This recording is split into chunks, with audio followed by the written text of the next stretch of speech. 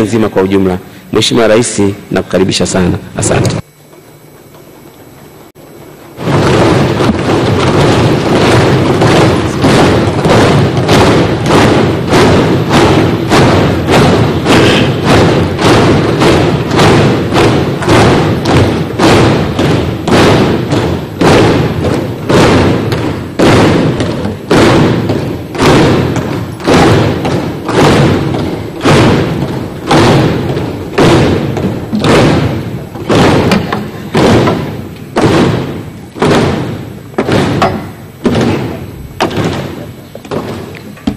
Mheshimiwa Spika,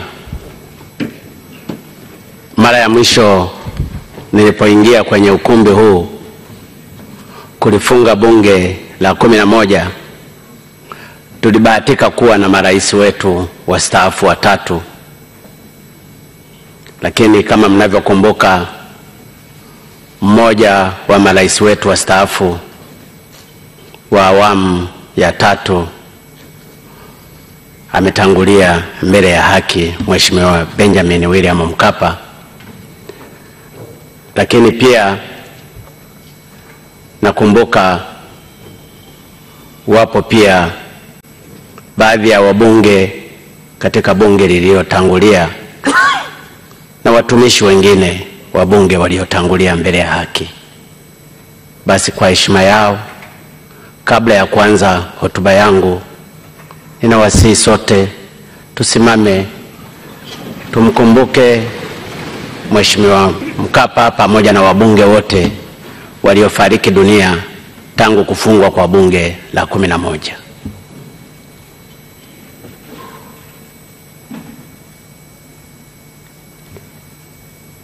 Mwenyezi Mungu aiweke roho ya marehemu mzee Mkapa pamoja na marehemu wetu wote mahali pema peponi. Amina.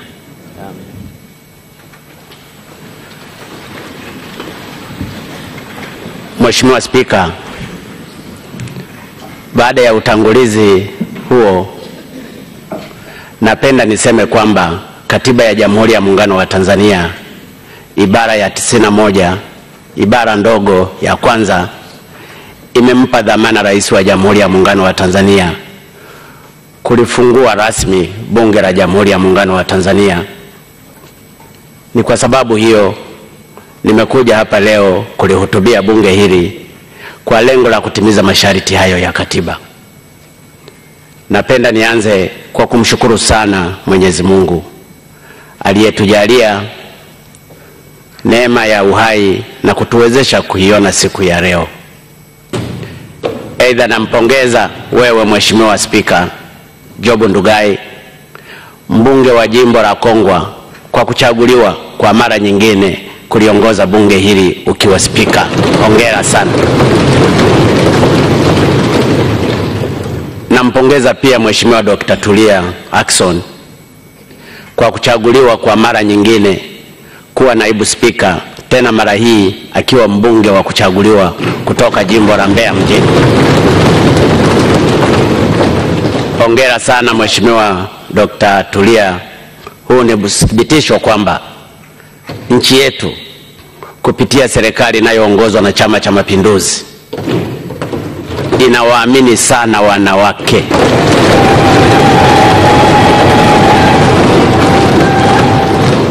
Kama mnavyofahamu, makamu wetu wa rais Mheshimiwa Samia Suluhu Hassan naye ni mwanamama. Aidha, bunge hili la kumi na mbili nalo lina wabunge wengi wanawake kama ulivyotaja. Kwa msingi huo, napenda nitumie fursa hii kuahidi kuwa serikali inayoiongoza itaendelea kuwaamini wanawake katika kushika nafasi mbalimbali mbali za uongozi. Wanawake na wakina mama oye! Mheshimiwa Spika, napenda pia kuwapongeza waheshimiwa wabunge wote kwa kuchaguliwa kwenu kuwa wabunge wa bunge hili la kumi na mbili. Mmechaguliwa kwa vile wananchi wana imani kuwa mna uwezo wa kuwakilisha vizuri. Nafahamu michakato ilivyokuwa, wajumbe na kadhalika.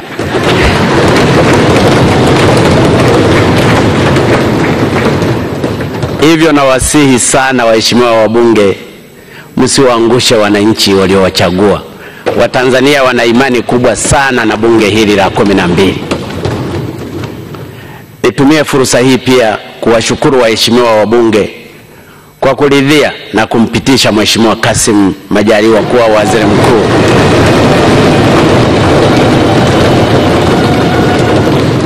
Kuwa waziri mkuu wa Jamhuri ya Muungano wa Tanzania. Asanteni sana.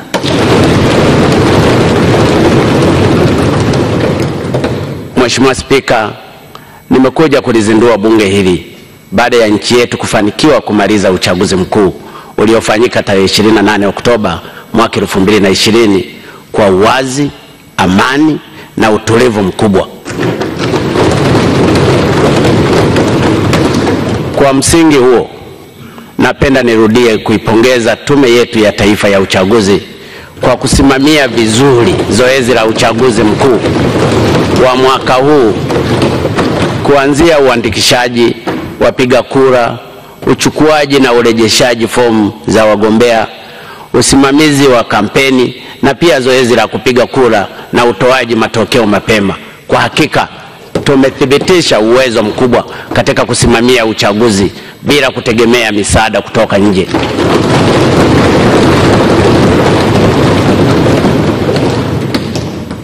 Mheshimiwa Mwenyekiti wa Tume ya Taifa ya Uchaguzi, Jaji mstaafu Semistoa Kaijage, Makamu Mwenyekiti wa Tume, Jaji mstaafu Hamid Mahamud, makamishna wa tume, mkurugenzi wa uchaguzi Dr. Wilson Mahera, pamoja na watendaji wote wa tume, hongereni sana kwa kazi nzuri mliofanya. Mheshimiwa Spika, kwa namna ya pekee nawapongeza kwa jinsi tulivyotumia vizuri fedha mlizotengewa.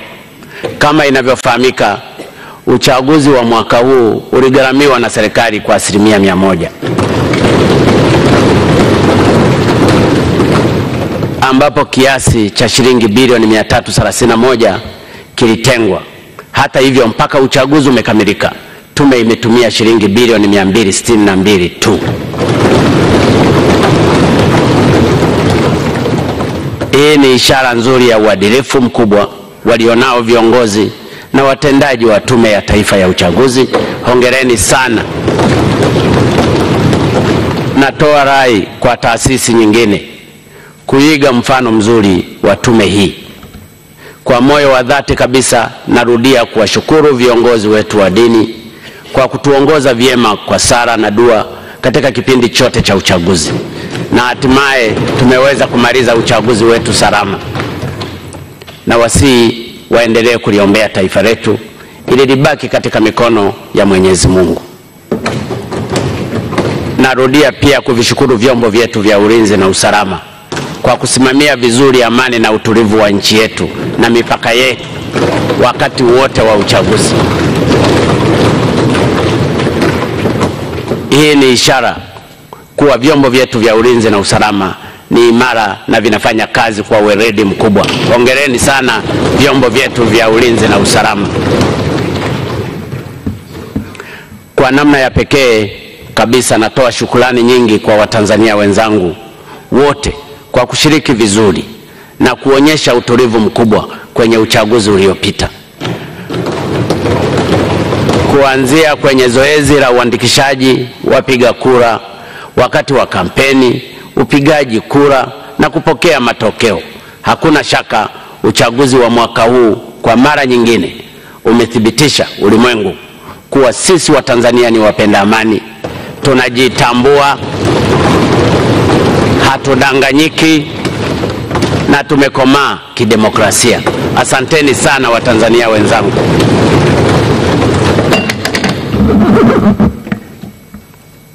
Mheshimiwa Spika, masuala yote muhimu tuliyoyapanga kuyatekeleza kwenye miaka mitano iliyo tumeyaweka tumeyaweka kwenye ilani ya uchaguzi ya CCM ya mwaka 2020 hadi 25 ambayo ina kurasa mia tatu na tatu.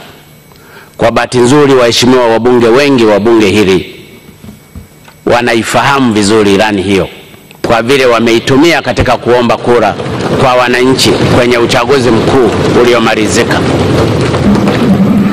Lakini sambamba na masuala hayo yaliyomo kwenye ilani yetu ya uchaguzi wa mwaka 2020-2025 tunaendelea pia kutekeleza na kusimamia mambo yote niliyoyaeleza wakati nikizindua bunge la 11 tarehe 20 Novemba 2015.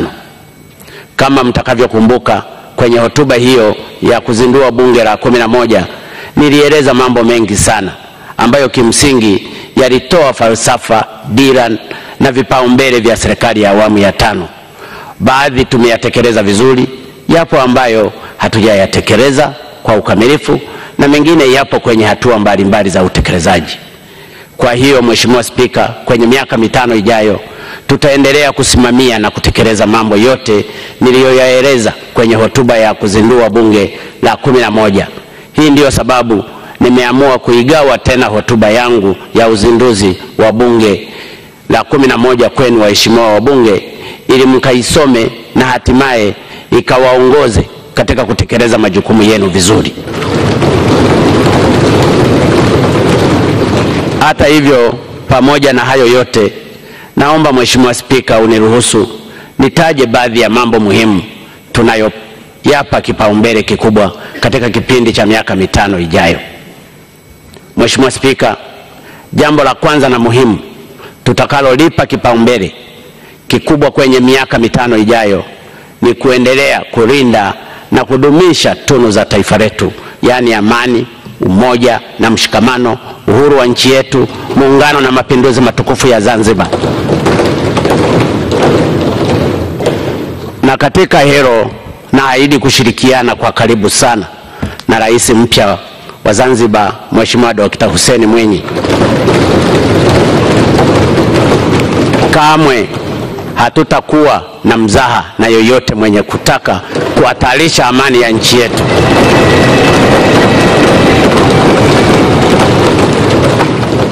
Mwenye nia ya kuvuruga umoja na mshikamano wetu na pia mwenye kutaka kutishia uhuru wetu, muungano pamoja na mapinduzi matukufu ya Zanzibar. Napenda pia kutumia fursa hii kumwahidi Mheshimiwa Rais Dr. Hussein Mwinyi kwamba kwenye miaka mitano ijayo serikali ya Jamhuri ya Muungano wa Tanzania itatoa ushirikiano mkubwa wa kufanya kazi kwa karibu na serikali ya Zanzibar. Kwa kifupi, Mheshimiwa Spika, naweza kusema tutafanya kazi kwa pamoja kwa lengo la kuleta maendeleo kwa pande zetu zote mbili za muungano. Na katika hilo, Mheshimiwa Spika, nampongeza sana Mheshimiwa Rais Dr. Hussein Mwinyi kwa hotuba nzuri aliyoitoa wakati wa kuzindua Baraza la Wawakilishi. Kwenye hotuba yake alitoa dira, mwelekeo na kutaja vipaumbele vya serikali ya awamu ya nane ya Zanzibar. Hongera sana kwa Mheshimiwa Rais Dr. Mwinyi kwa hotuba nzuri.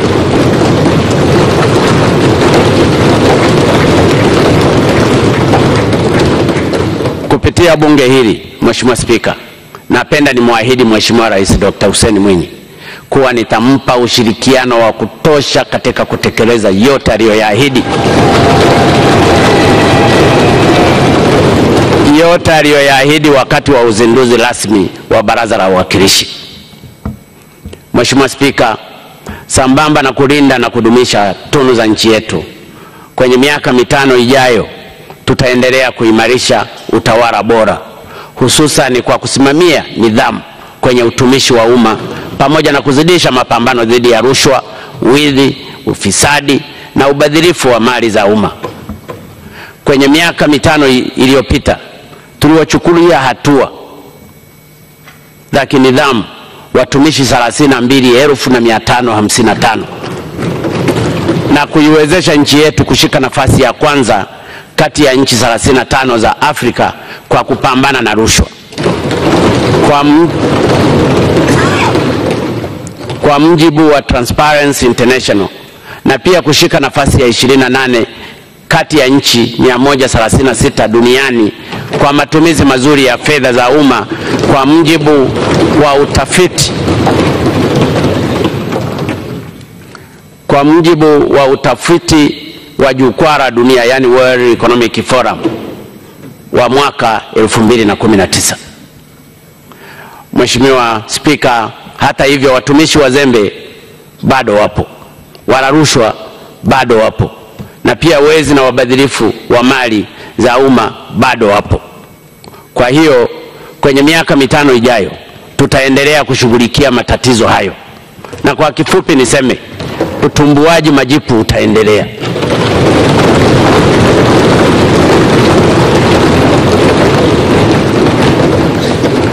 Hata hivyo, Mheshimiwa Spika, kwa upande mwingine tutaendelea kuboresha mazingira ya kazi pamoja na masilahi ya watumishi wetu wote ili yaendane na hali halisi ya maisha ya Watanzania. Tutaangalia masilahi yao. Kwa hiyo watumishi wasiwe na wasiwasi, wachape kazi. Mheshimiwa Spika, kwenye miaka mitano ijayo pia tumejipanga kuendeleza jitihada za kukuza uchumi.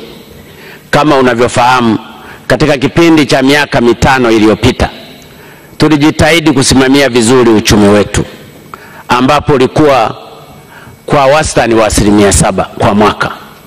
Aidha, pato ghafi la taifa limeongezeka kutoka shilingi trilioni 94.349 mwaka 2015 hadi kufikia shilingi trilioni 139.9 mwaka 2019.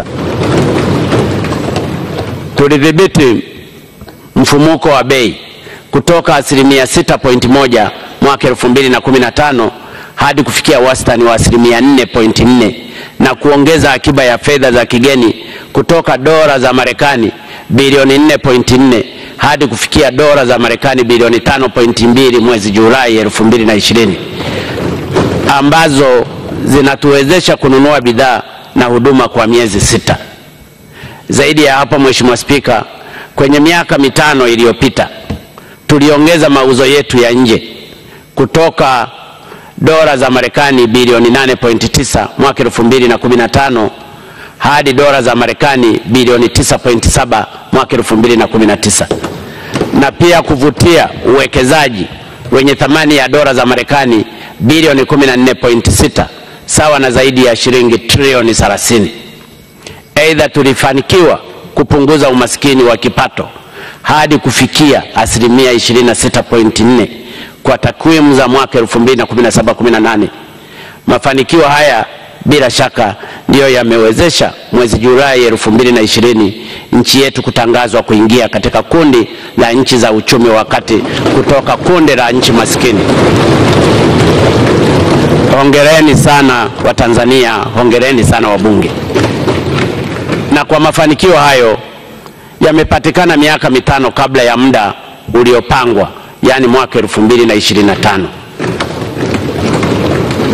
Kwa hiyo kwenye miaka mitano ijayo tunakusudia kuendeleza mafanikio ya kiuchumi yaliyopatikana na tutahakikisha ukuaji uchumi unawanufaisha wananchi hususan kwa kuinua vipato vyao, kupunguza umaskini na tatizo la ajira. Na katika hilo tunalenga kukuza uchumi wetu kwa wastani angalau asilimia nane kwa mwaka na pia kutengeneza ajira mpya zipatazo milioni nane. Mheshimiwa Spika, tutaendelea pia kuboresha sera zetu za uchumi jumla na sera za fedha, yaani microeconomics and monetary policies, na pia kuhakikisha viashiria vyote vya uchumi ikiwemo thamani ya sarafu yetu, mfuko wa bei, mfumuko wa bei pamoja na viwango vya riba vinabaki kwenye hali ya utulivu.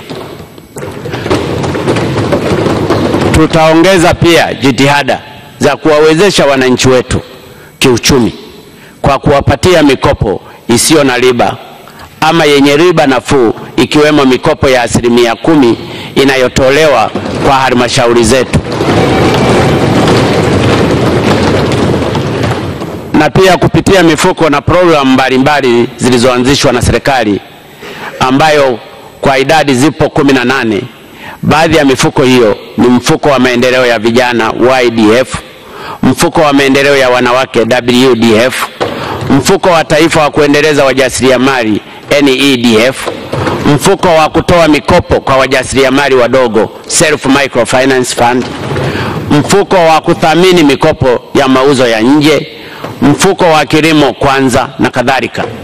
Tutaimarisha usimamizi wa mifuko hii na kuhakikisha Watanzania wanaifahamu. Najua mifuko hii ni mingi, ipo chini ya ofisi ya waziri mkuu. Hivyo basi, na kuagiza Mheshimiwa Waziri Mkuu, hii ikawe kazi yako ya kwanza kushughulikia.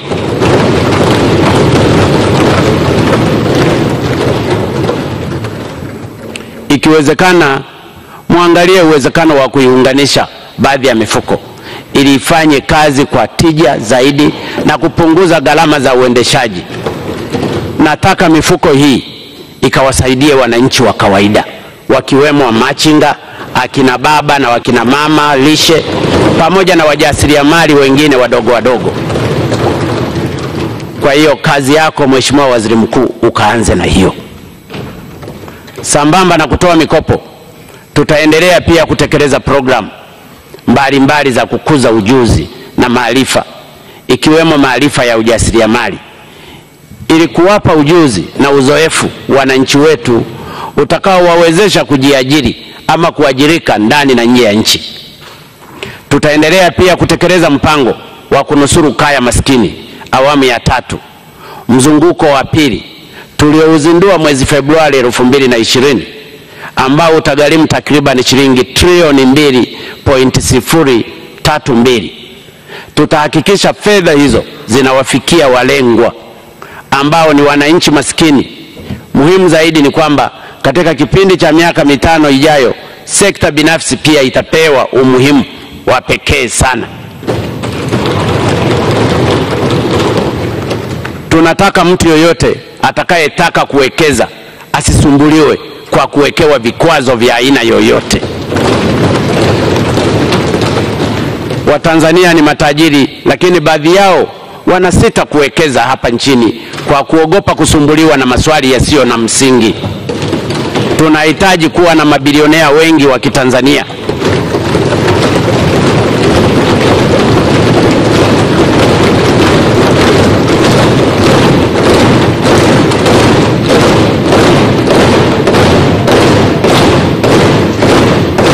Tunahitaji mabilionea wengi wa Kitanzania wakiwemo wabunge.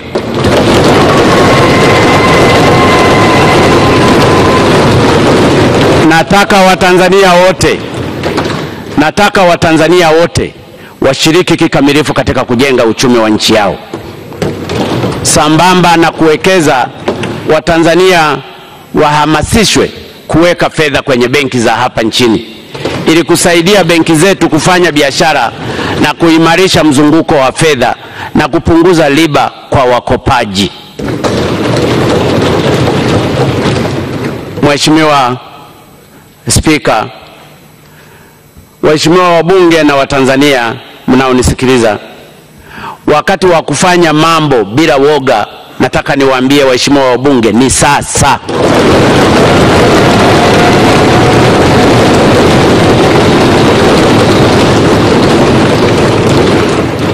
Tumechelewa sana. Kwenye miaka mitano ijayo pia tutafungua milango kwa sekta binafsi kufanya majadiliano na serikali ili kutafuta mwafaka wa migogoro ya kibiashara, yani business dispute.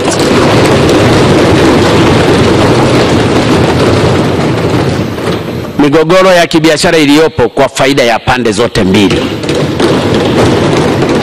Lengo letu ni kuona Tanzania inakuwa mahali pazuri pa kufanya biashara duniani. Kwenye miaka mitano iliyopita tumefuta tozo 168 ambapo 114 zilihusu kilimo, mifugo na uvuvi na tozo nyingine 54 zilihusu biashara. Mheshimiwa Spika, tutaendelea na utaratibu huo.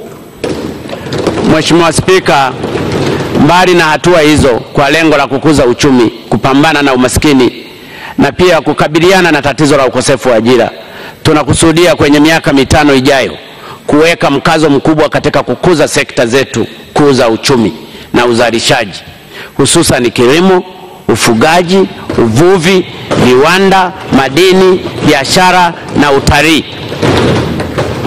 Sekta hizi ndizo zenye kuwaajiri Watanzania wengi. Kwa hiyo ni wazi tukifanikiwa kuzikuza, uchumi wetu utakuwa kwa kasi na hivyo kupunguza matatizo ya umaskini na ukosefu wa ajira nchini. Kwa msingi huo, kwenye kilimo kwa mfano, tunakusudia kuongeza tija na kukifanya kilimo chetu kuwa cha kibiashara.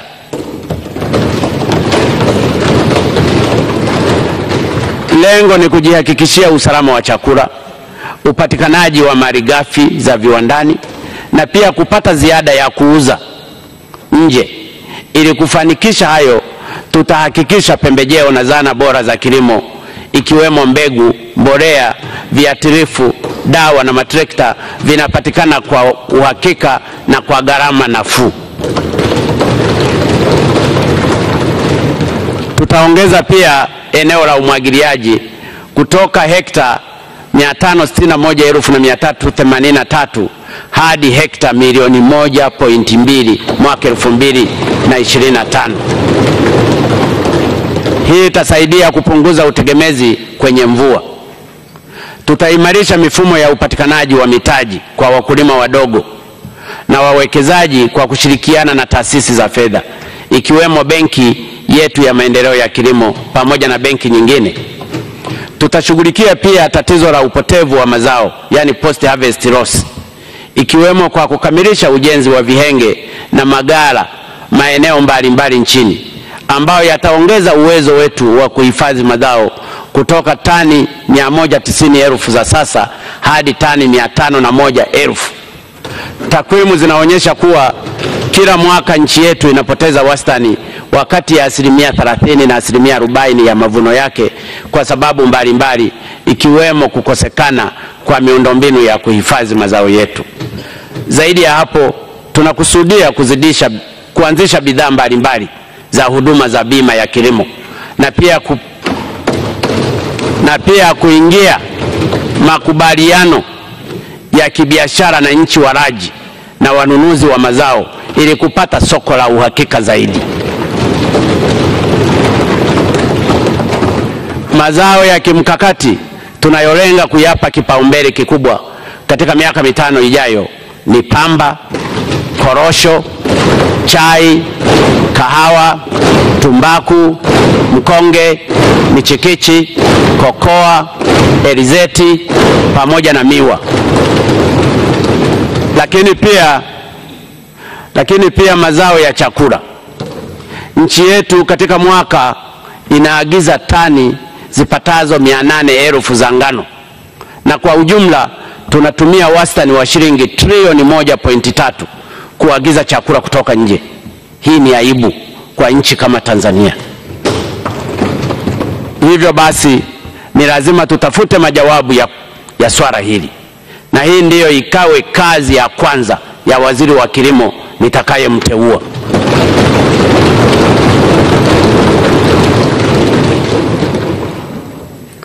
Lakini zaidi ya hapo tutaweka mkazo mkubwa kwenye kilimo cha mazao ya bustani, yaani matunda, mboga mboga, maua na viungo. Ambacho kinakuwa kwa kasi kubwa nchini.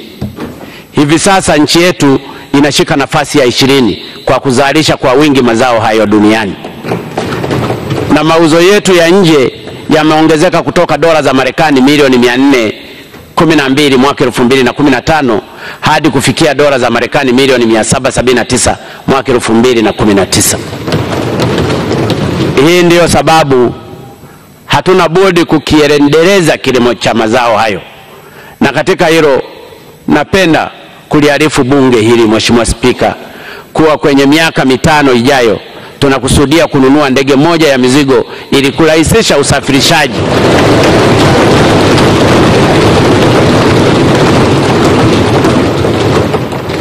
ili kurahisisha usafirishaji wa mazao ya bustani, lakini pia minofu ya samaki pamoja na nyama. Wakulima wetu wakulima wetu ni lazima watajirike na shughuli wanazozifanya. Hivyo basi, mawaziri wa kilimo, biashara, mambo ya nje na mabalozi wajipange vizuri katika hili.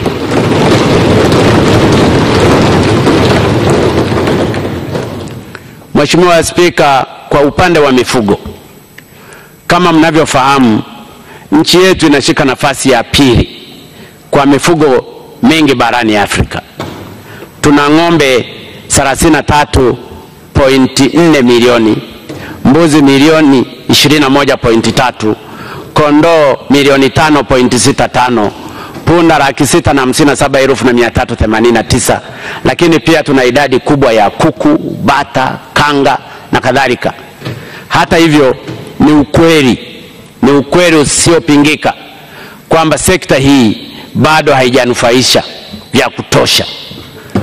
Kwa kuzingatia hilo, kwenye miaka mitano ijayo tunakusudia kuikuza sekta ya mifugo ili ichangie ukuaji uchumi na kupunguza matatizo ya umasikini na ukosefu wa ajira nchini.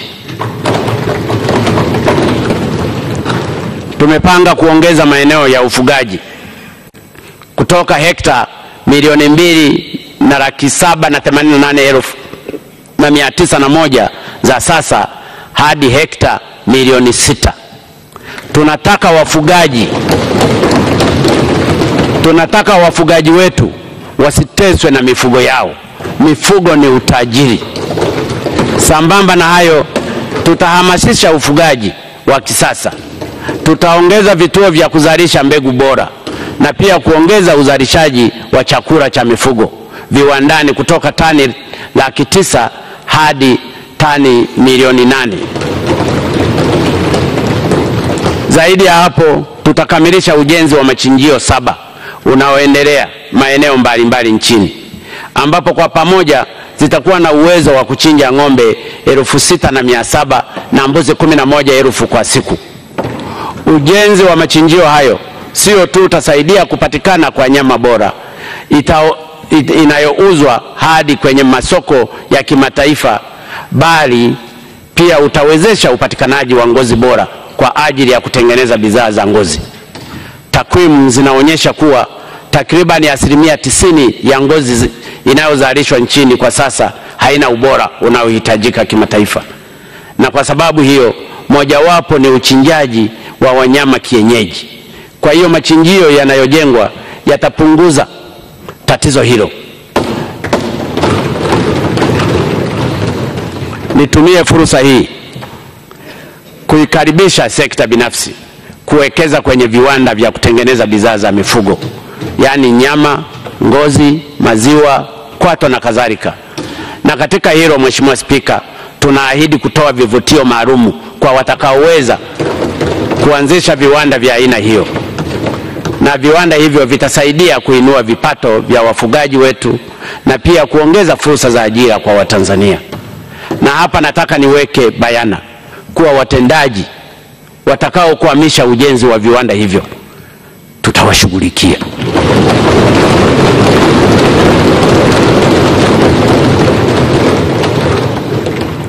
Kwa sababu saa nyingine tunakuwa na mipango mizuri, watendaji wa chini wanakwamisha. Ilani ya uchaguzi sitaki cheleweshwe na mtu yoyote.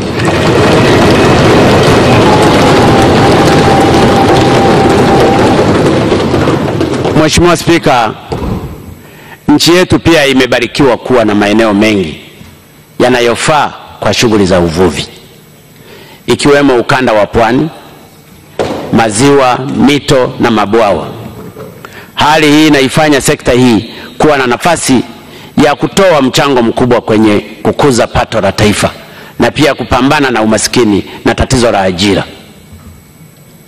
Hata hivyo, kwa sasa mchango wake bado ni mdogo sana.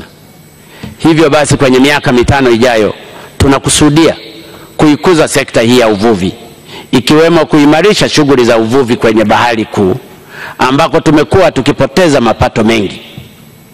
Kwa mjibu wa ripoti ya kamati ya Bunge kuhusu shughuli za uvuvi wa bahari kuu ya mwaka 2018, shughuli za uvuvi kwenye bahari kuu zinaweza kuingizia serikali mapato ya moja kwa moja ya takriban shilingi bilioni 352.1 kwa mwaka. Endapo mifumo na usimamizi na udhibiti ingekuwa imara. Samaki wangechakatwa hapa nchini. Hata hivyo, mapato yaliyokuwa yamekusanywa kwa kipindi cha miaka tisa, yani kuanzia elfu mbili na tisa hadi elfu mbili na kumi na saba yalikuwa shilingi bilioni 29.79 tu, sawa na shilingi bilioni 3.3 kwa mwaka. Kiwango hiki cha mapato hakikubaliki. Hii ndiyo sababu tunataka kwenye miaka mitano ijayo kuisimamia vizuri shughuli ya uvuvi wa bahari kuu ili taifa letu linufaike na rasilimali zake kwa kuhusisha sekta binafsi. Kwa bahati nzuri, tayari mwaka huu wa elfu mbili na ishirini tumetunga sheria mpya ya kusimamia uendeleza uvuvi wa bahari kuu. Aidha, tumepanga kununua meli nane za uvuvi kwa kushirikiana na shirika la IFAD. Meli hizo nane, nne zitakuwa upande wa Zanzibar na nne zitakuwa upande wa Tanzania bara. Meli hizi zitashiriki katika uvuvi wa bahari kuu. Kama mnavyofahamu, swala la uvuvi wa bahari kuu ni la Muungano. Tunakusudia pia kujenga bandari kubwa ya uvuvi itakayotoa ajira zipatazo thelathini elfu na tutaendelea kuihamasisha sekta binafsi kujenga viwanda vya kuchakata samaki. Sambamba na kusimamia bahari kuu, tutakuza shughuli za uvuvi kwenye maziwa yetu makuu, yaani Victoria, ziwa Tanganyika na ziwa Nyasa, pamoja na mito yetu mikubwa. Tutahamasisha wavuvi wetu wadogo kujiunga kwenye vikundi ili tuweze kuwapatia mitaji, ujuzi, vifaa na zana za uvuvi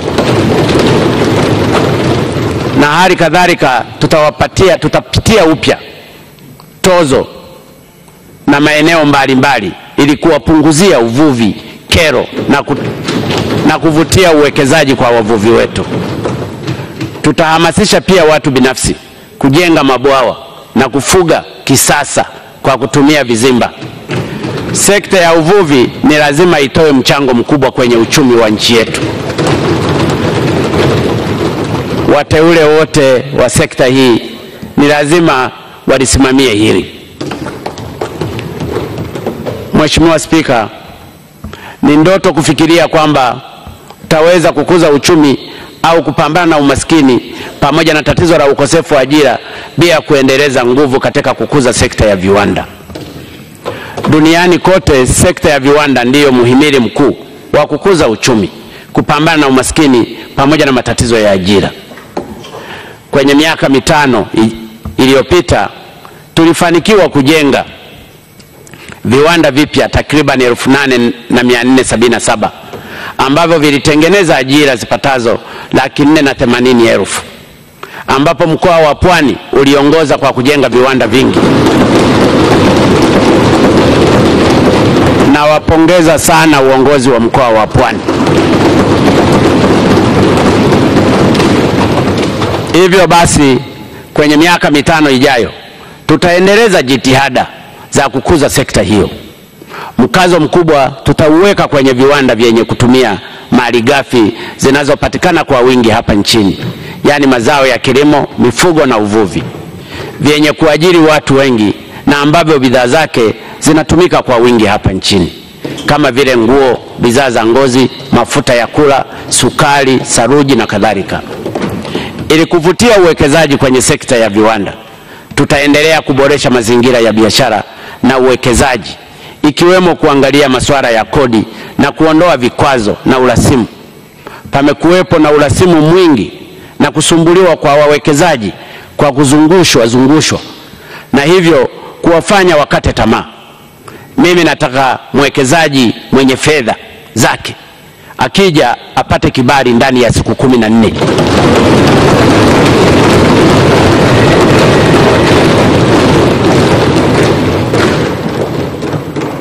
Na kwa sababu hiyo nimeamua swala la uwekezaji ikiwa ni pamoja na kituo cha uwekezaji Tanzania TIC kulihamishia kutoka ofisi ya waziri mkuu kwenda ofisi ya rais.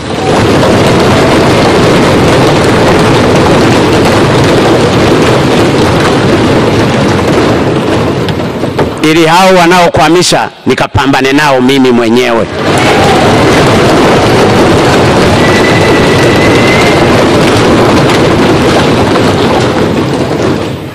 Lakini zaidi ya hapo, tumepanga kujenga ukanda na kongani, yani clusters za viwanda kila mkoa kulingana na mazao na mali asili zinazopatikana huko. Mheshimiwa Spika, kwenye miaka mitano iliyopita tumepata mafanikio makubwa kwenye sekta ya madini. Mapato yameongezeka kutoka shilingi bilioni 168 mwaka 2014-15 hadi shilingi bilioni 527 mwaka 2019 hadi 20.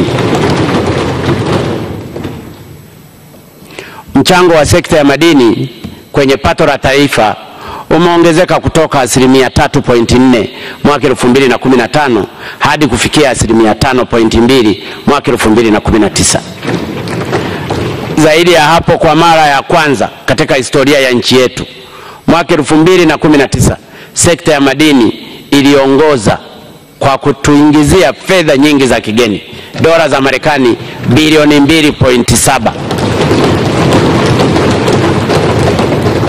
Nitumie fursa hii kulipongeza sana Bunge la kumi na moja kwa kutoa mchango mkubwa katika kupatikana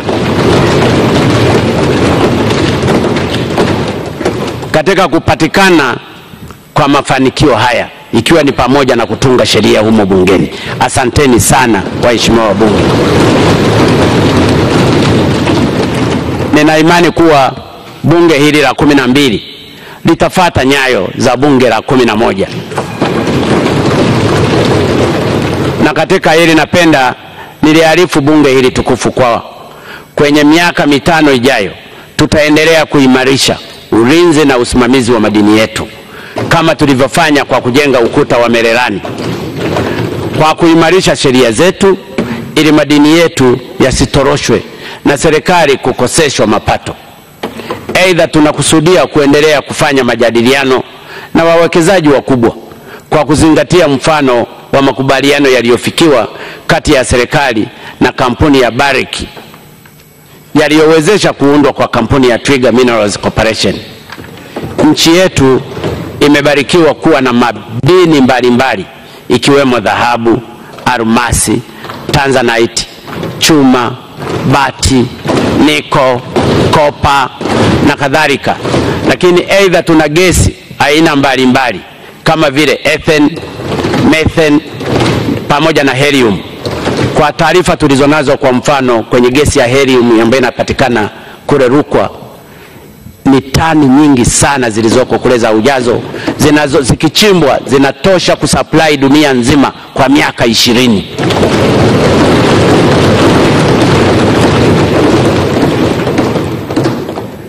Kwa hiyo kama zinaweza zikahudumia dunia kwa miaka ishirini, huu ni utajiri mwingine tulionao sisi wa Tanzania. Hii ndiyo sababu kila siku nimekuwa nikisema sisi sio maskini, sisi ni matajiri. Nchi yetu ni tajiri sana. Lakini kuhusu madini pia, kwenye miaka mitano ijayo tutaendelea kuimarisha shirika letu la taifa la madini, yani STAMICO, ili lishiriki kikamilifu kwenye shughuli za madini, kuwawezesha wachimbaji wetu wadogo wadogo, ikiwa ni pamoja na kuwatengea maeneo ya uchimbaji kuwapatia mafunzo, mikopo pamoja na vifaa. Na katika hili natambua kuwa wapo baadhi ya watu wamepewa leseni za utafiti na uchimbaji, lakini hawajazifanyia kazi. Tutazifuta leseni zao na maeneo hayo tutazifuta leseni zao na maeneo hayo tutawagawia wachimbaji wadogo wadogo. Wachimbaji wadogo wadogo ni muhimu sana katika kukuza sekta ya madini. Tutaendelea pia kuimarisha masoko ya madini pamoja na kuhamasisha ujenzi wa viwanda vya uchenjuaji, uyeyushaji, usafirishaji na utengenezaji wa bidhaa za madini. Tunataka madini yachimbwe hapa Tanzania, yachenjuliwe hapa Tanzania, yayeyushwe hapa Tanzania, kisha bidhaa za madini zitengenezwe hapa Tanzania na ndipo ziuzwe nje, ama watu kutoka nje waje kununua bidhaa za madini hapa nchini. Tutakuwa tumetengeneza uchumi wa kutosha, lakini pia tutatengeneza ajira za kutosha kwa Watanzania. Ni imani yetu kuwa kutokana na hatua tulizopanga kuzichukua, sekta ya madini itaweza kuchangia angalau asilimia kumi ya pato la taifa ifikapo mwaka 2025.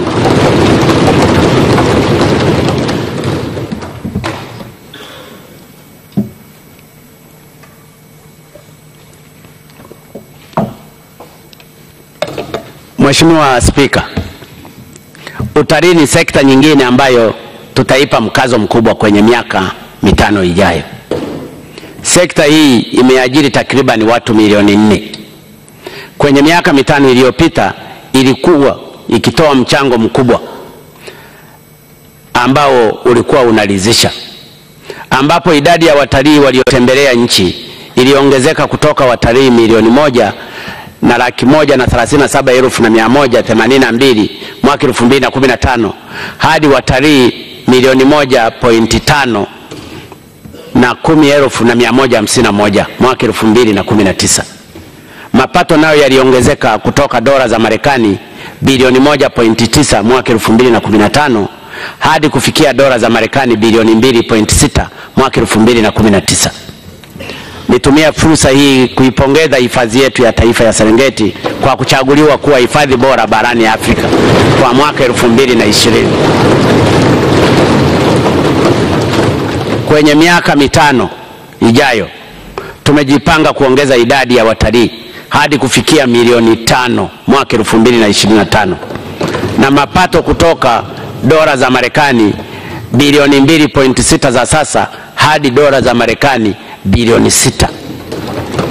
Hatua tutakazochukua ni pamoja na kupanua wigo wa vivutio vya utalii ikiwemo kukuza utalii wa mikutano na uwindaji wa nyamapori, kuimarisha utalii wa fukwe, kujenga miundombinu ya kuwezesha meli za utalii kuzuru nchini na kuongeza kasi ya utangazaji wa vivutio vyetu. Vile vile tutazihamasisha taasisi za watu binafsi kuanzisha ranchi, mashamba na bustani za wanyama kama inavyofanyika nchi zingine ili kuzuia ujangili na kukuza utalii, lakini pia kuongeza vipato na fursa za ajira kwa Watanzania.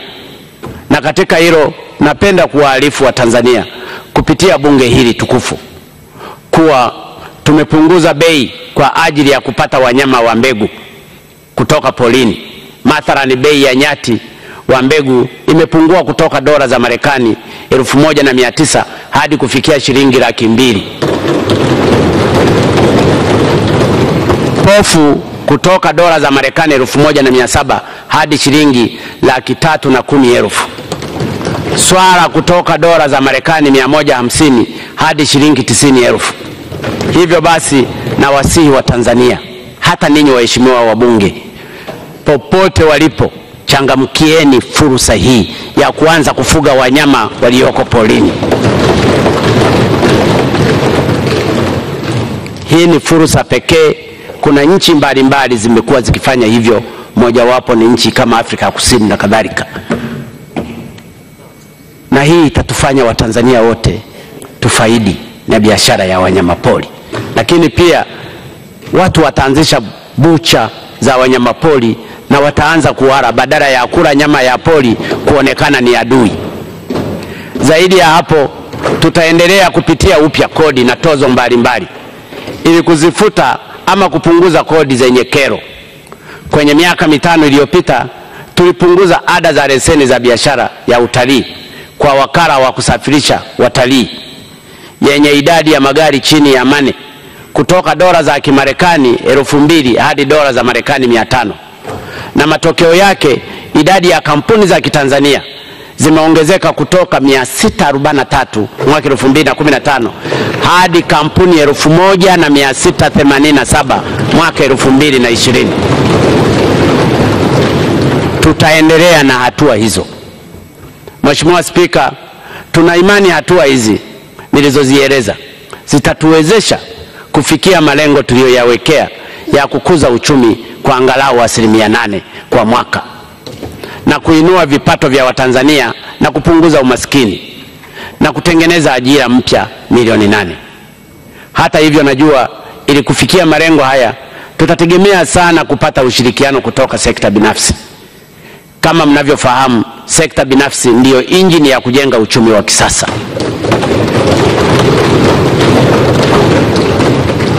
Hivyo basi, narudia kuikaribisha sekta binafsi ya hapa nchini na kutoka nje kuwekeza katika sekta nilizozitaja na ambazo sikuzitaja, na napenda kuwahakikishia watu wa sekta binafsi kuwa Tanzania ni mahali pazuri na sahihi pa kuwekeza. Nchi yetu ina amani na utulivu. Tumebarikiwa kuwa na fursa nyingi za uwekezaji. Nchi yetu ipo kwenye eneo la kimkakati. Sisi pia ni wanachama wa jumuiya ya East Africa Community na SADC ambazo zina soko la watu takribani milioni mia tano. Kwa hiyo narudia kuikaribisha sekta binafsi kuwekeza hapa nchini, na kwa bahati nzuri tangu mwaka jana tumeanza kutekeleza mpango wetu wa kuboresha mazingira ya biashara, yaani Blueprint for Regulatory Reforms to Improve the Business Environment in Tanzania. Hivyo basi mazingira ya biashara na uwekezaji kwenye miaka mitano ijayo yanatarajiwa kuwa bora zaidi kuliko miaka mingine yote. Mheshimiwa Spika, ili kukuza uchumi pamoja na sekta ya uzalishaji ni lazima tuimarishe miundombinu hususan ya usafiri na nishati ya umeme. Kamwe huwezi kukuza sekta ya kilimo, ufugaji, uvuvi, viwanda, uchimbaji wa madini na utalii bila kuimarisha miundombinu na huduma za usafiri pamoja na upatikanaji wa huduma za umeme. Kwa hiyo kama ilivyokuwa kwenye miaka mitano iliyopita, tutaendelea kuweka mkazo mkubwa kwenye ujenzi wa miundombinu ya usafiri na kuboresha huduma za usafirishaji. Tutakamilisha miradi tuliyoianzisha na kuanza kutekeleza miradi mipya, na katika hilo tumepanga kwenye miaka mitano ijayo kukamilisha ujenzi wa kilomita elfu mbili na mia tano za barabara za lami na kuanza ujenzi wa barabara za lami zenye urefu wa kilomita elfu sita na sita.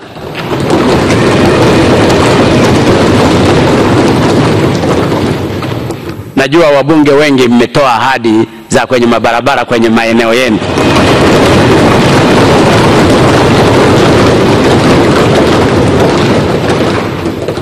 Ili hatimaye tuweze kufikia lengo letu la kuunganisha mikoa na wilaya zote kwa barabara za lami. Barabara hizo, barabara hizo zimetajwa kwenye ilani yetu ya uchaguzi na zingine zinatokana na ahadi tulizozitoa katika kipindi cha kampeni. Tumepanga pia kukamilisha ujenzi wa madaraja saba na kuanza madaraja mengine kumi na manne likiwemo daraja la Kigongo Busisi, Wami na Pangani. Zaidi ya hapo, tutaendelea kushughulikia tatizo la msongamano wa magari kwenye miji na majiji yetu hususani Arusha, Dar es Salaam, Mbeya, Mwanza na hapa Dodoma ambako tumepanga kujenga barabara ya mzunguko ya njia nne yenye urefu wa kilomita mia moja na kumi ambapo makandarasi wawili tayari wamekwisha patikana na ujenzi utaanza hivi karibuni. Kwa upande wa usafiri wa reli, kwa upande wa usafiri wa reli tumepanga kuendelea kuimarisha usafiri wa reli ya kati na TAZARA. Aidha, tutakamilisha ujenzi wa reli ya kisasa kutoka Dar es Salaam, Morogoro hadi Dodoma na kuanza ujenzi wa vipande vya reli ya Mwanza Isaka, Makutopora Tabora, Tabora Isaka hadi Tabora Kigoma na Kaliua Mpanda hadi Kalema. Zaidi ya hapo, tutanunua vichwa vya treni ya njia kuu 39 na kukarabati 31. Tutanunua mabehewa ya mizigo 800 na kukarabati 690 na pia tutanunua mabehewa 37 ya abiria na kukarabati mabehewa 60.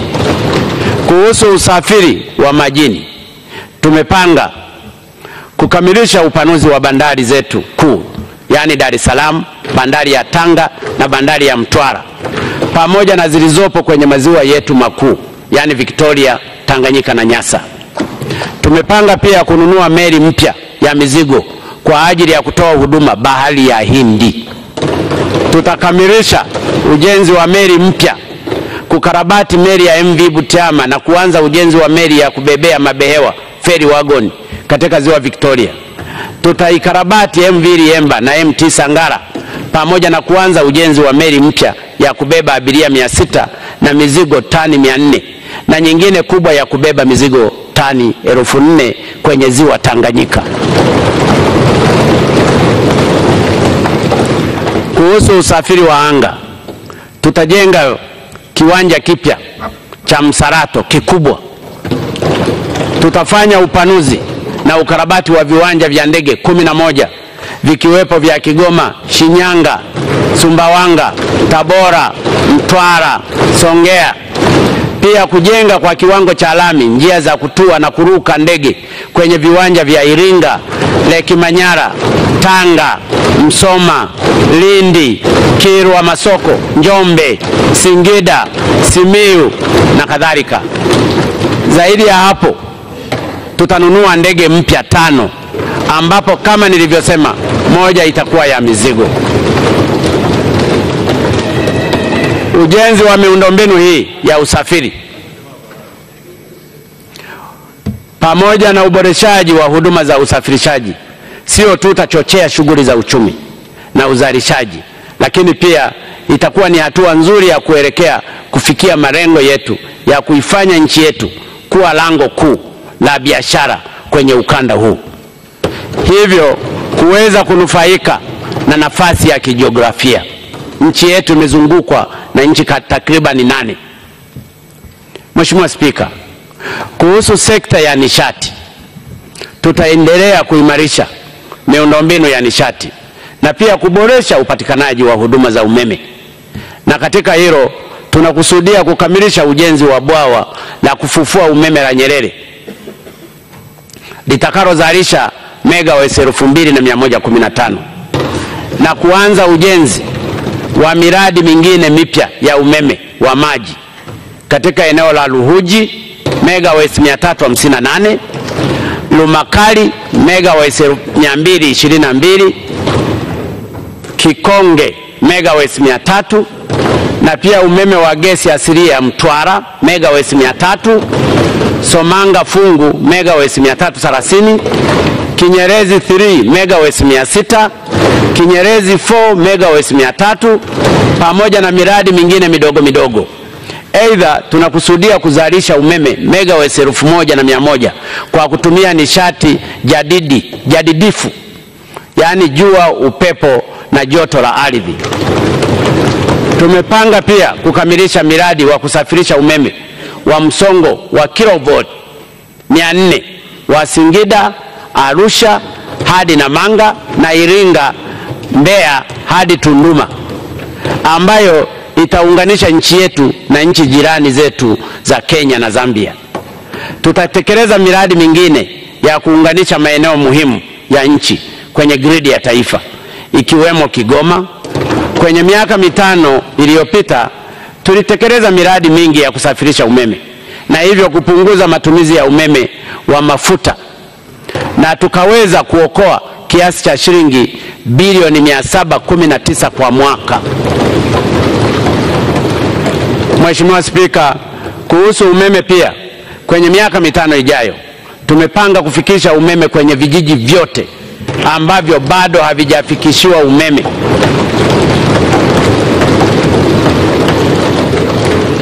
ambapo idadi yake haizidi vijiji 2384 kwa sababu kwenye miaka mitano iliyopita kwa takwimu za hadi jana tumefikisha umeme kwenye vijiji 9884 kutoka vijiji 2018 mwaka 2016. Nchi yetu ina vijiji 12280. Miradi hii yote ya umeme itakapokamilika, sio tu itatuwezesha tuwe na umeme wa kutosha na kufikisha umeme kwenye maeneo yote nchini, bali pia itatufanya tuwe na ziada ya kuweza kuuza nje, lakini pia itatusaidia gharama za umeme kuzipunguza kuliko gharama za sasa hivi. Sambamba na hayo, kuhusu nishati, kwenye miaka mitano ijayo, Mheshimiwa Spika, tutaanza utekelezaji wa miradi ya kielelezo, yani flagship projects ya bomba la mafuta kutoka Hoima nchini Uganda hadi bandari ya Tanga lenye urefu wa kilomita 1445.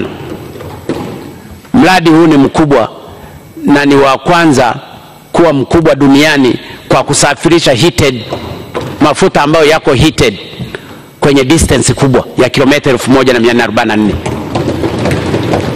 na kilomita zote 1115 ni Tanzania, kilomita zingine mia tatu na kitu zitakuwa nchini Uganda. Lakini pamoja na mradi wa kusindika gesi asilia LG mkoani Lindi, nao tutahakikisha unaanza kufanya kazi. Zaidi ya hapo, tutaendelea kuhamas, kuhamasisha matumizi ya gesi asilia na gesi ya mitungi majumbani, kwenye taasisi na viwanda na magari ili kupunguza uharibifu wa mazingira na athari za mabadiliko ya tabia nchi. Mheshimiwa Spika, dunia hivi sasa ipo kwenye mapinduzi ya nne ya viwanda, yaani the fourth industrial revolutions, ambayo yanaongozwa na sekta ya mawasiliano ICT.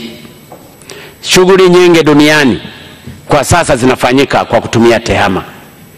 Hivyo basi sisi nasi hatuna budi kuendana na kasi hiyo ya kukua kwa sekta ya mawasiliano.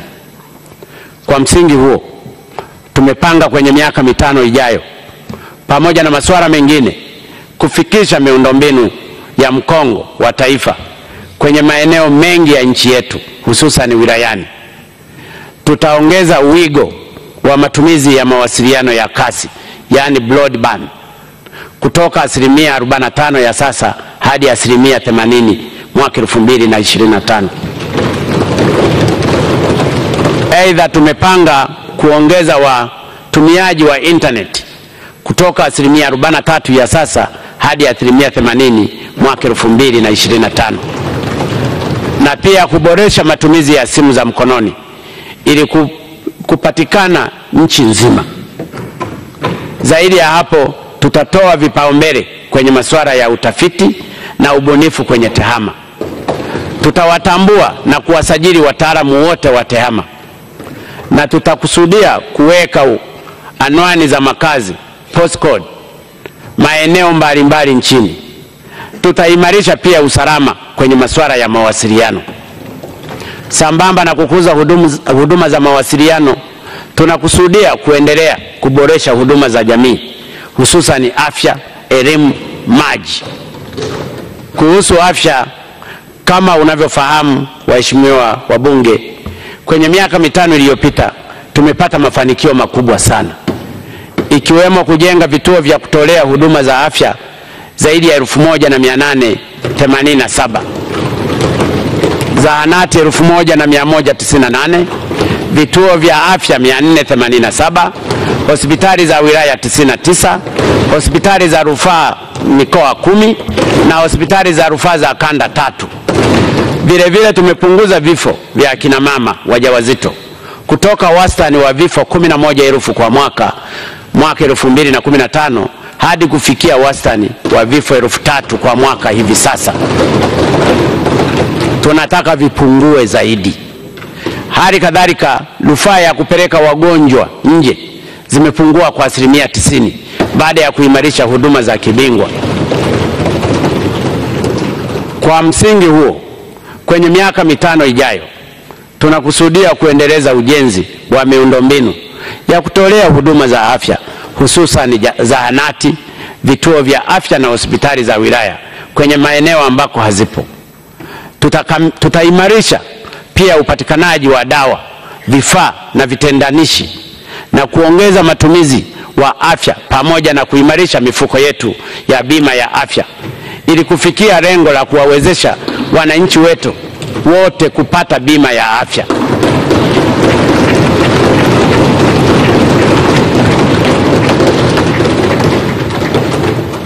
Wakati wa ugonjwa wa korona, mbali na kumtanguliza mbele Mwenyezi Mungu, tiba za asili au tiba mbadala nazo zimesaidia sana. Hivyo basi, kwenye miaka mitano ijayo tumekusudia kuimarisha kitengo cha utafiti wa tiba mbadala. Sisi wa Tanzania hatupaswi kamwe kudharau dawa zetu za asili ama tiba mbadala, na kwa sababu hiyo matibabu na maduka rasmi ya dawa asili yataruhusiwa.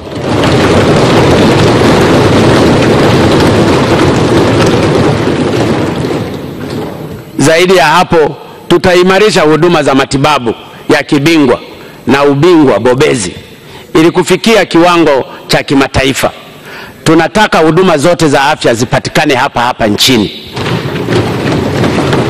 Akitaka matibabu ya dawa mbadala au za asili yatibiwe hapa hapa, akitaka za hospitali yatibiwe hapa hapa, ili watu waje watibiwe, na ikiwezekana watu kutoka nje waje kutibiwa hapa nchini na kimsingi tayari wameanza kuja kutibiwa. Mheshimiwa Spika, kwenye elimu tutaendelea kutoa elimu ya msingi na sekondari bila malipo. Tutaongeza bajeti ya mikopo kwa wanafunzi wa elimu ya juu ili kuongeza idadi ya wanufaika. Aidha, tutaendelea kujenga na kukarabati miundombinu ya elimu ikiwemo shule, madarasa, mabweni, maabara, maktaba, ofisi na nyumba za walimu, hosteli pamoja na kumbi za mihadhara. Tutahakikisha tunaendelea kuboresha elimu inayotolewa ili iweze kutoa maarifa na ujuzi wa kutosha kwa wahitimu wetu. Tutahimiza ufundishaji wa masomo ya sayansi na hisabati hususani kwa wanafunzi wa kike ambao tunakusudia kujenga shule moja ya sekondari kwenye kila mkoa kwa ajili ya kufundisha masomo ya sayansi kwa wasichana.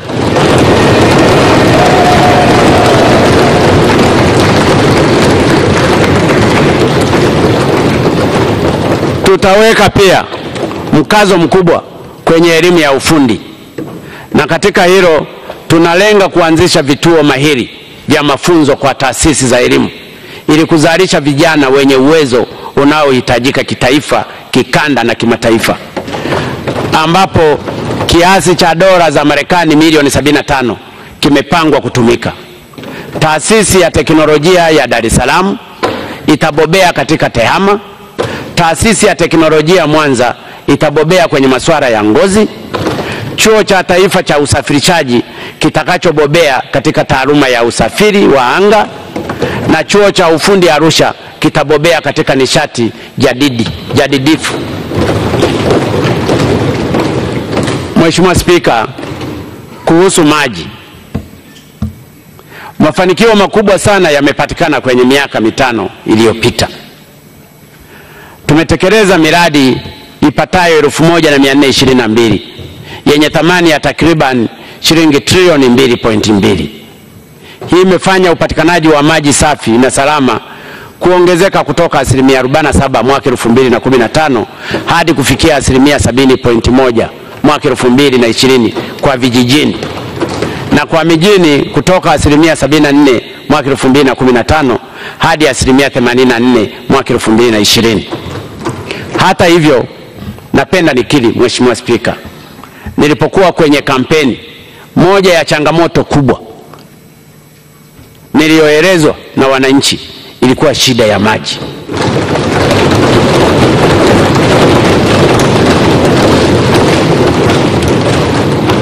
Shida ya maji hususan maeneo ya vijijini. Kwa msingi huo, kwenye miaka mitano ijayo tutajitahidi kuelekeza nguvu zaidi katika kushughulikia swala la maji, ikiwemo kuhakikisha kuwa fedha zinazopelekwa vijijini kutekeleza miradi ya maji zinatumika vizuri, kwa sababu ni kweli fedha zingine zilikuwa zinapelekwa vijijini zilikuwa hazitumiki vizuri na miradi ilikuwa haikamiliki. Nataka kuona miradi ya maji inayojengwa inakamilika kwa wakati, lakini pia watendaji wawe wabunifu na kuacha kufanya kazi kwa mazoea. Mito na maziwa yetu yatumike kukami, kukamilifu, yatumike kikamilifu katika kuwafikishia maji wananchi wa maeneo husika. Kwenye miaka mitano ijayo pia tutaimarisha mifuko wa taifa wa maji ili kuongezea uwezo wa kifedha wa kutekeleza miradi ya maji. Tutakamilisha pia miradi mikubwa ikiwemo wa mji 28 itakayogharimu shilingi trilioni 1.2. Mradi wa maji wa kutoa maji ziwa Victoria unaogharimu takriban shilingi bilioni 600 na mradi mkubwa wa maji wa Arusha wenye thamani ya shilingi bilioni 520.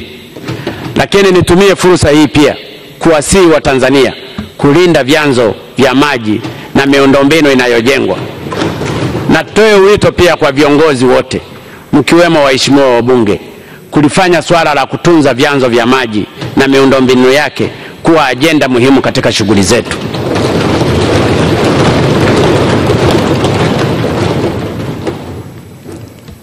Mheshimiwa Spika,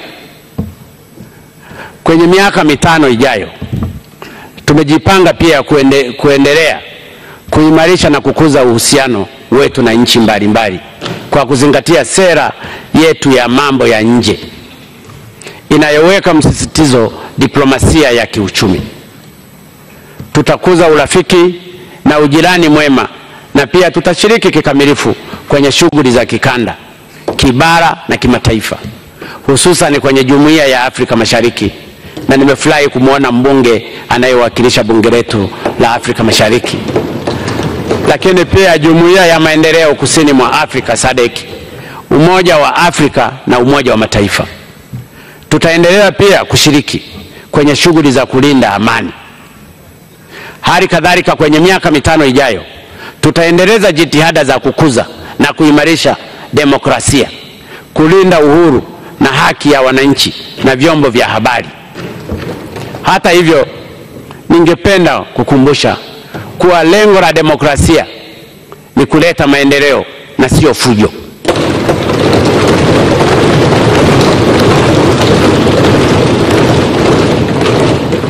na hakuna demokrasia isiyo na mipaka.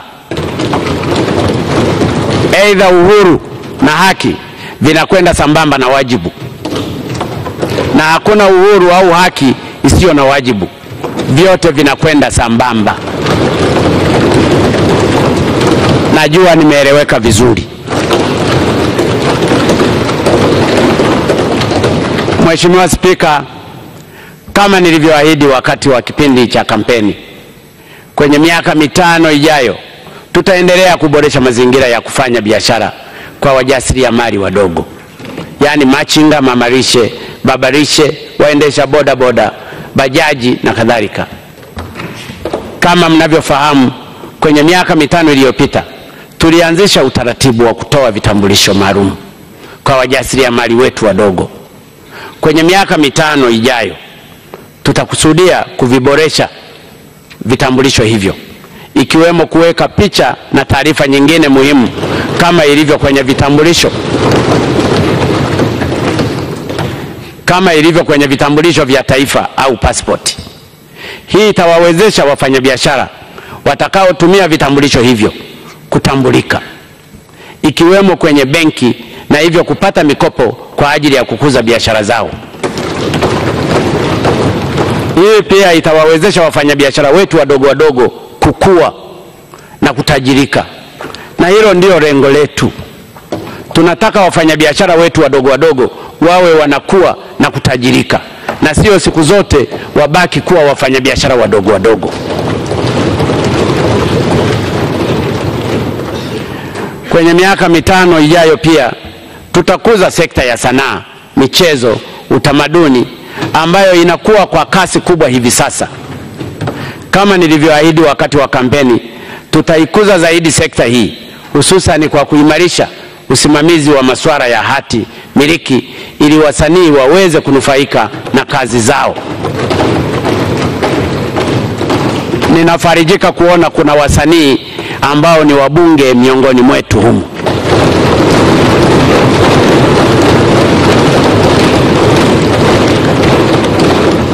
Tutauisha pia mfuko wa utamaduni wa sanaa. Ili kuwasaidia wasanii wetu ikiwemo kupata mafunzo na mikopo.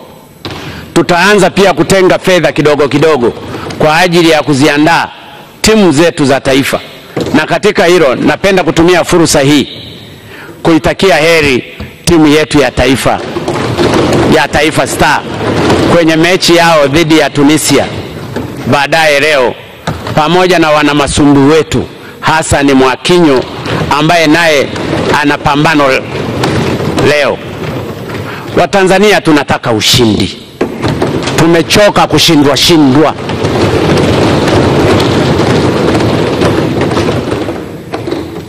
Mheshimiwa Spika, kwenye miaka mitano iliyopita tumefanikiwa kuhamasisha kuhamisha makao makuu ya serikali hapa Dodoma. Viongozi, wabunge na watumishi wote wa serikali wenye kustahili kuhamia Dodoma tayari wameshahamia Dodoma. Kwenye miaka mitano ijayo tutakamilisha ujenzi wa ofisi na pia kuendelea na ujenzi wa makazi ya watumishi. Zaidi ya hapo, tutaendelea kutekeleza miradi ya miundombinu ambayo tayari nimeitaja: barabara ya njia nne, uwanja wa ndege wa Msarato na kadhalika, na tutashughulikia swala la upatikanaji maji katika jiji la Dodoma. Nataka niwahakikishie wana Dodoma wote mkiwepo ninyi wabunge na sisi wote na Watanzania, swala la maji tutalitatua haraka sana Dodoma.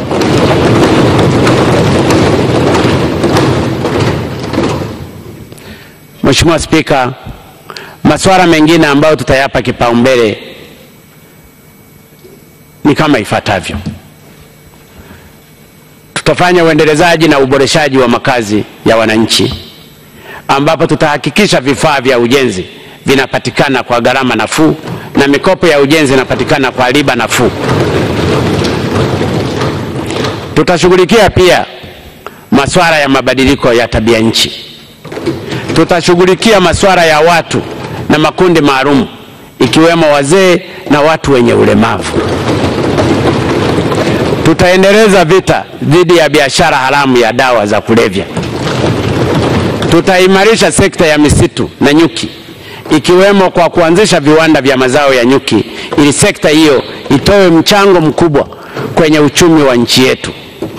Tutahamasisha pia wafugaji wa nyuki.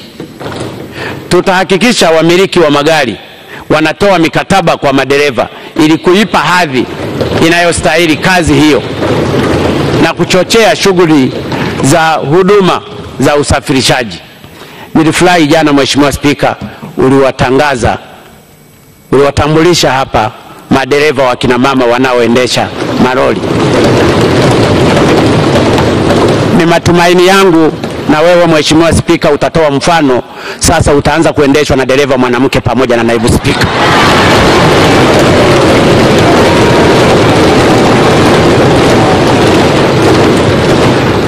Na katika hilo swala la madereva, inawezekana hata katika bunge hili ikatungwa sheria mahususi ya kuwalinda madereva wetu wa nchi hii, kwa sababu tutashughulikia pia kero mbalimbali mbali za wananchi ikiwemo migogoro ya ardhi, mirathi na kadhalika. Na kwenye hili nitawaomba sana waheshimiwa wabunge mtusaidie sana katika maeneo yao. Hili napenda pia kuwaagiza viongozi wa serikali kuanzia ngazi za vijiji, kata, tarafa, wilaya, mikoa kuhakikisha wanatenga siku maalum ya kukutana na wananchi kwenye maeneo yao ili kusikiliza kero zao na kuzipatia ufumbuzi. Kero zingine ni nyepesi sana, zinaweza zikatatuliwa hata katika levo ya vijiji, lakini saa nyingine zinasubiri mpaka viongozi wa kitaifa wanapopita. Mheshimiwa Spika, kwa ujumla mambo tuliyoyapanga kuyatekeleza ni mengi sana, kweli ni mengi sana. Baadhi nimeyaeleza na yapo mengine mengi ambayo yameelezwa vizuri kwenye ilani ya uchaguzi ya CCM yenye kurasa mia tatu na tatu, lakini kwa sababu ya muda sitaweza kuyaeleza yote. Hivyo basi, nawaagiza mawaziri mtakaowateua pamoja na watendaji kuisoma vizuri ilani yetu, kuielewa na kuitafasiri vizuri ilani hiyo katika sera na mipango kazi ya utekelezaji kwenye wizara au taasisi wanazoziongoza ili kuifika itakapofika mwaka elfu mbili na ishirini na tano tuweze kuitekeleza kikamilifu ilani hiyo.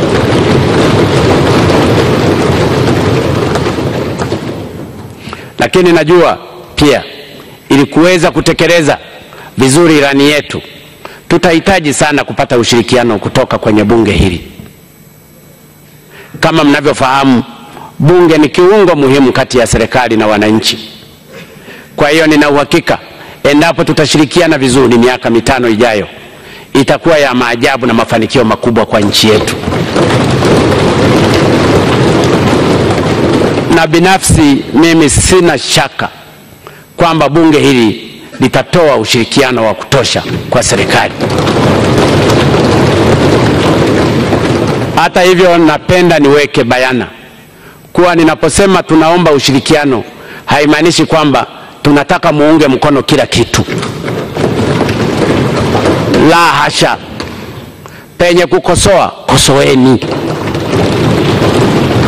lakini kwa hoja na kutoa mapendekezo ya namna ya kushughulikia. Tunahitaji constructive criticism na sio kukosoa kwa lengo la kukosoa tu. Na katika hilo, kwa upande wetu serikali tunaahidi kutoa ushirikiano wa kutosha kwa bunge hili ili kuliwezesha kutimiza majukumu yake ipasavyo. Tutatoa pia ushirikiano kwa mihimili wa mahakama, na nimeshukuru sana Mheshimiwa Jaji Mkuu na majaji wengine wa mahakama pamoja na Jaji Mkuu wa upande wa Zanzibar, wote wako hapa ili nao waweze kutimiza majukumu yake ya kusimamia haki nchini. Kama mnavyofahamu, mahakama ni muhimu sana katika kuongoza serikali, ni muhimu katika kujenga maelewano katika jamii, kudumisha amani na usalama, pia kuchochea shughuli za kiuchumi. Mheshimiwa Spika, kwa mujibu wa katiba yetu, mimi ni sehemu ya bunge hili. Hivyo basi, kabla sijahitimisha kabla sijahitimisha hotuba yangu, napenda kutumia fursa hii kuwashukuru wageni wetu wote walioungana nasi kwenye tukio hili.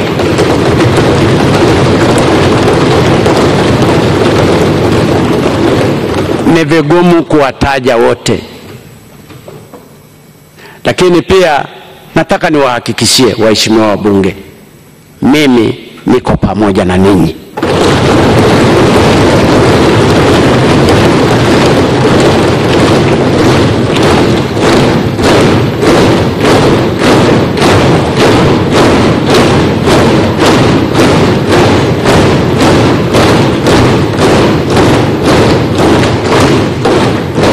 na kamwe sitawaacha.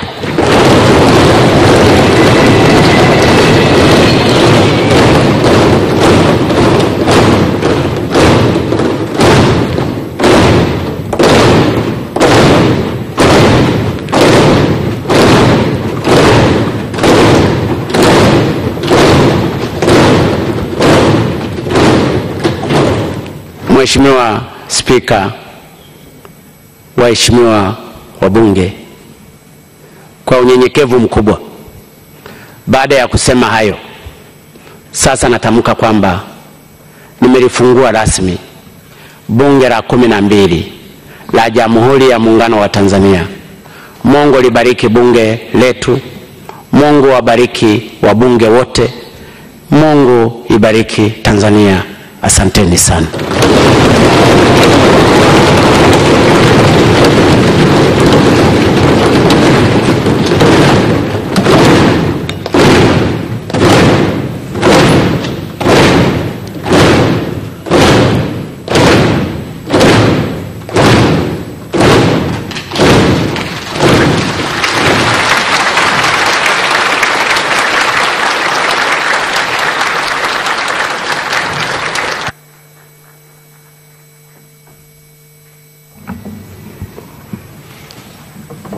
Naomba tukae, waheshimiwa wabunge.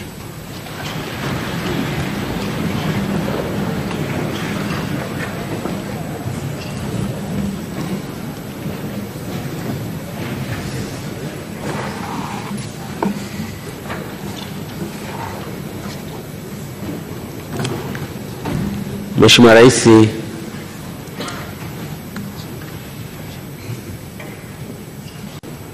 hakika hotuba ambayo umeitoa ni dira kwelikweli kweli kwa miaka mitano ijayo.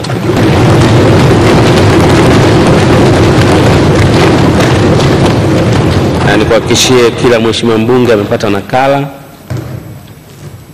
na tutaiingiza kwenye tablets zetu katika utaratibu wa soft copy. Itakuwa ni mojawapo wa kiongozi cha shughuli zetu ikiwemo na ilani ya Chama cha Mapinduzi kufanya kazi